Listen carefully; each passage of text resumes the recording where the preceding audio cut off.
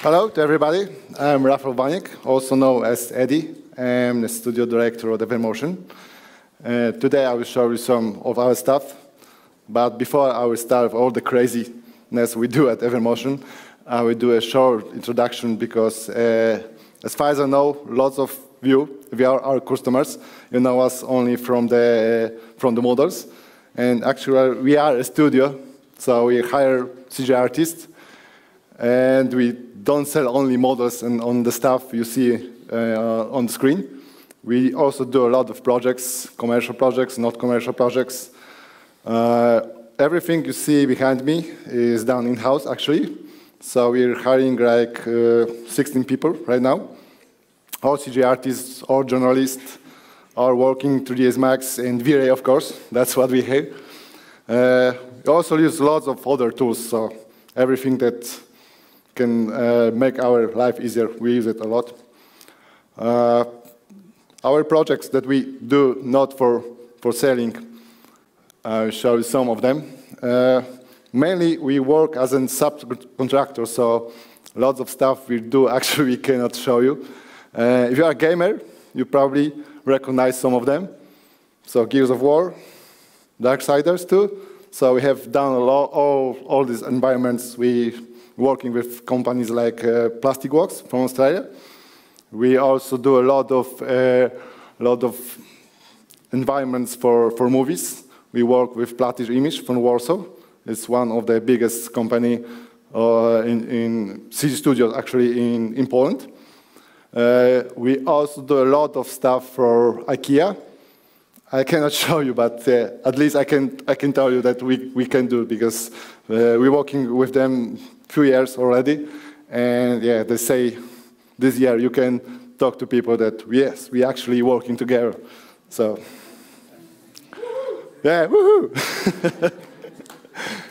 you, you, can, you can laugh. Come on. Come on. Okay, we work for IKEA. So, every catalog you see, it's Evermotion work actually. so, if you if you're working, uh, you have a company, you have projects, you can call us we will work for you as well. So we are open to any, any business you, you want to do with us as well. But remember, we work only from 8 to, to, uh, to 4 the day. And that's, that's really, that's something that we, we, we like, that we don't do any after hours. And yeah, some clients are calling us like uh, almost 4, let's change this, this, and this. And I said, okay, but uh, tomorrow. What? What you are doing after 4? Come on, we are living. Yeah. With dirt machines, we are people. we have fun stuff to do, not only the chairs and etc. Okay, let's come with the, some of the workflows we do at Evermotion. Uh, yeah, you see some our pipeline and some uh, some turbo for the cola, if you know what I mean. uh, actually, I might disappoint you. There is no some perfect uh, workflow that we do. Uh, every artist uh, has his own workflow at Evermotion, at least when it comes for our projects, for internal projects, for all the stuff we do. So yeah, we use, we use them a lot also if for, for the scenes, so that's a part of the workflow actually. And so every, every artist has a free will actually, so we can, as long as he uses 3ds Max and V-Ray, he can use he can do whatever technique he wants, and as long as, uh, long as it looks good at the end and doesn't take ages to do, at least 10 work days is okay for a scene. Uh, he can use whatever tools he wants, whatever new tools he finds on the web, then share it with other, and we can do use them as well. So,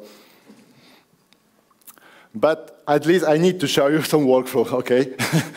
Uh, references, yeah, that's actually, I will use uh, two scenes, interior and exterior.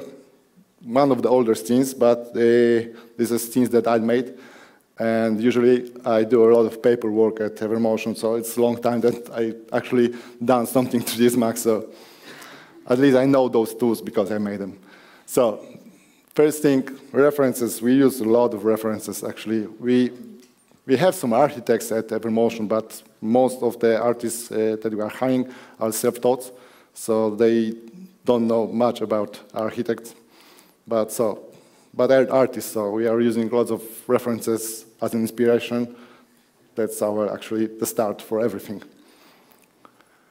Okay, interior and exterior. Actually, uh, the first thing that I'm doing for every scene, every project, It's simple blocking. You can use the reference as uh, on the background, so you can match it if you want perfectly, but usually I don't do it. Just to something have, you know, just to see, just to have something nice, it's okay. So blocking the scene, some simple lighting, and yeah, there are also I'm making as, as, as, as, as simple as possible. So probably uh, for interiors, I'm using uh, one uh, HDR map in the environment and put some, some lights, uh, some lights in the, in, the, in the windows. For exteriors, I'm always, always using sun, V-Ray sun, V-Ray sky. It's, it works, so why, why making it complicated?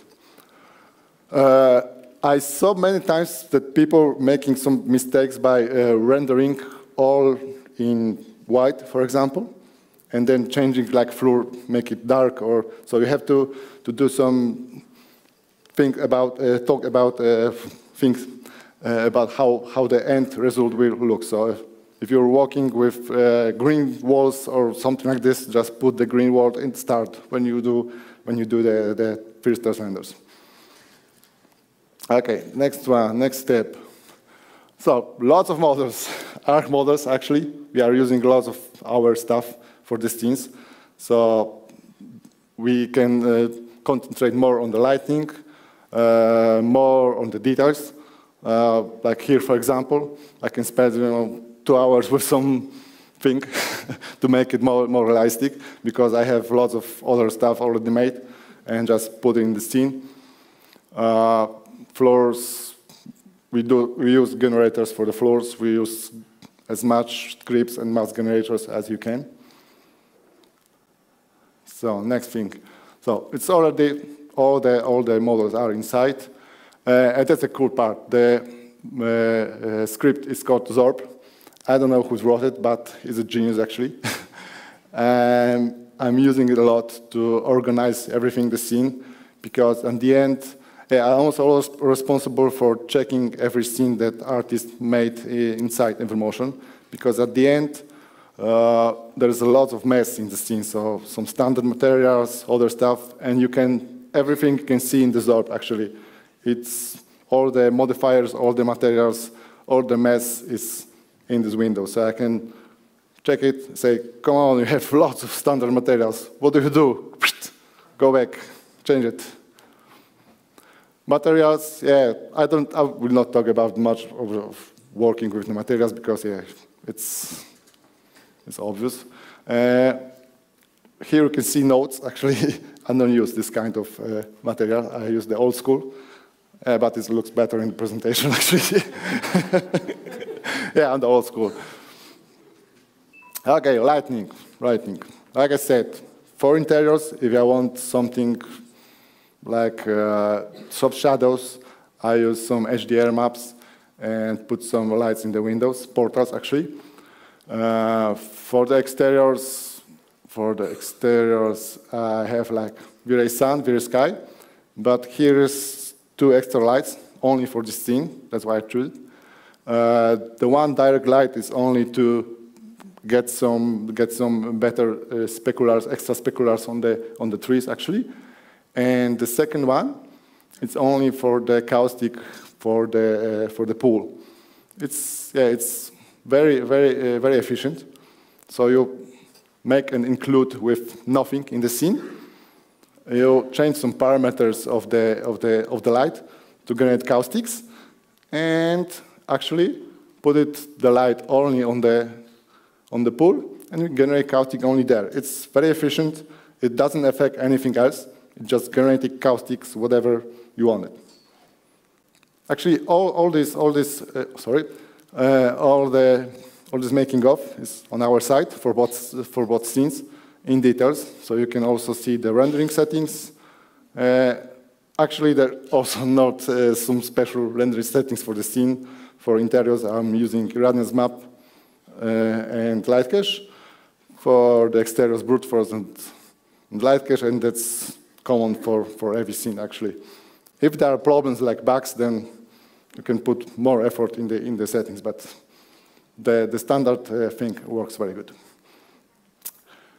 Okay, let's get to the point of new fields in the ArchViz, because at Motion we often uh, experiment with new products.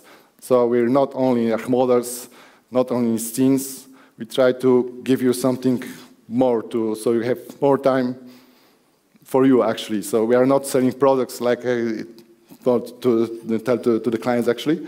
We are selling time. So you can have more free time just using our products. So one of our newest things are animated trees. Yeah, I know there are lots of lots of generators, lots of stuff that you can generate trees, then you can move them around and, and animate. But actually, it's it's another tool that you have to buy or you have to use. You have to know actually.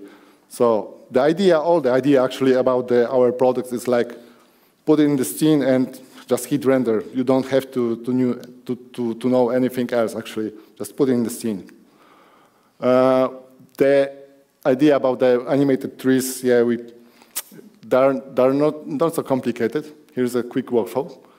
Uh, we're using for the medium poly trees some bend, some noise on the, uh, on, the, uh, on the leaves, and just back it to the point cache and it's, it's all uh, looped, so you can put lots of those scenes, a lot of those trees in the scene, and it will work quite well.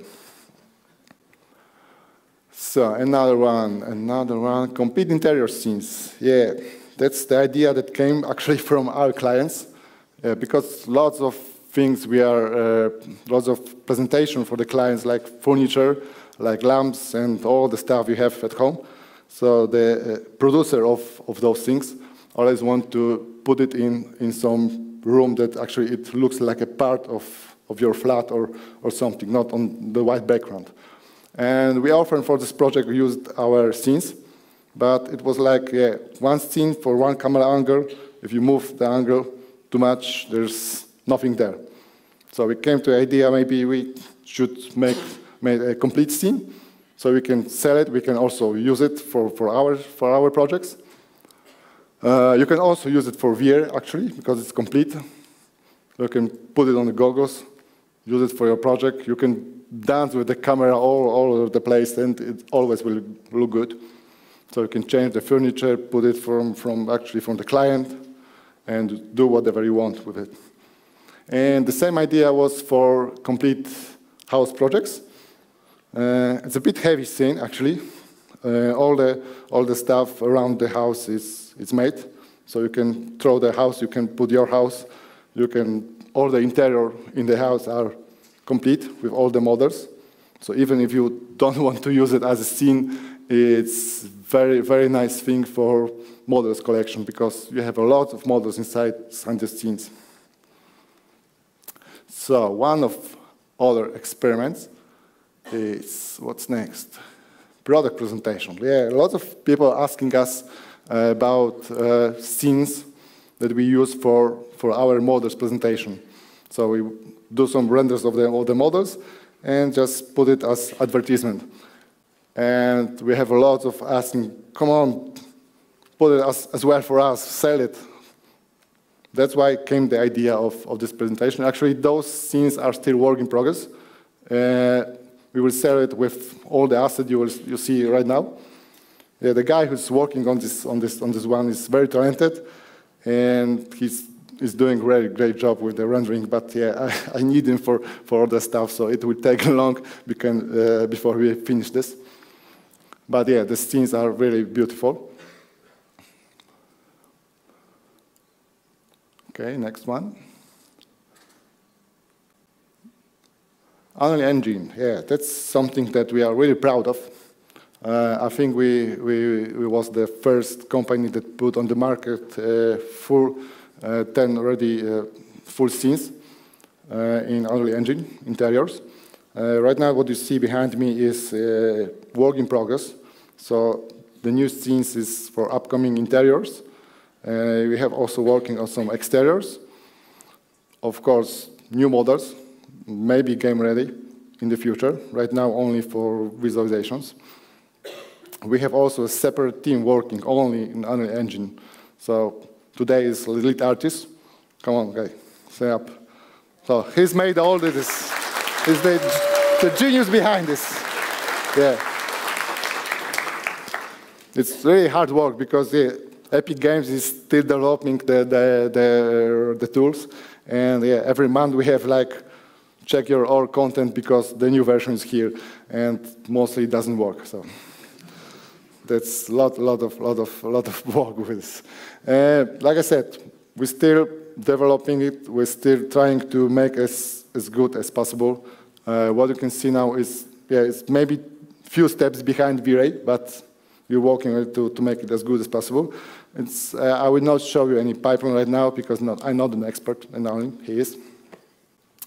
Uh, it's still a lot of job, a lot of, uh, lot of work. Uh, it's not like you put some models and you already have a scene. It's still a lot of baking. Like, like you know, like, like if you work on a project like animation, you have to render. This time you have to bake a lot on few machines for, for all the night and you come up to, to the morning and yeah, it's still it's still working, or it crashes, or etc. Because yeah, it's still in development. But yeah, the guys are making a really good job, so I think it's looking pretty nice. And last but not least, photogrammetry, also our child. I love all the models the, the guys do at the Motion. And everything you see, actually, it's actual stuff. You have to put it in the, in the, in the, in the studio and make some photos. So we have really fun when, when all the food was in the studio. So they have to check it and then, yeah, they have to eat it. Uh, we already put some of the models in the market. Uh, so all the food you see behind me uh, is already uh, online. Uh, there are also some, uh, also some post-apocalyptic models as well. Let's talk about a little bit of the workflow. So we use Agisoft, as you can see. So lots of photos for, uh, for every, every piece we are scanning, at least 40. If you make more than, it's, it's like more details. And then everything goes to Agisoft, actually. So computing, computing, computing.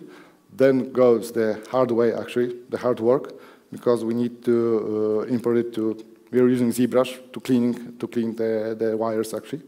It's a lot of, lot of work and yeah, it takes even one day to, to clean up uh, one, one piece of tree or, or something like this. So after that, after that it's UV mapping and goes to back to Agisoft for texture rebaking. We adjust the textures, of course, in Photoshop a little bit. And at the end, put in the V-Ray and 3ds Max and do some renders, of course. And voila, we have something like, like this. And this is actually uh, the scene which will be part of uh, the upcoming ARC models. We will put it, of course, as a bonus. Uh, everything you can see right now are 3D scanned models. So this will be Arch Models collection. Coming soon, it's almost there. And I think that's it.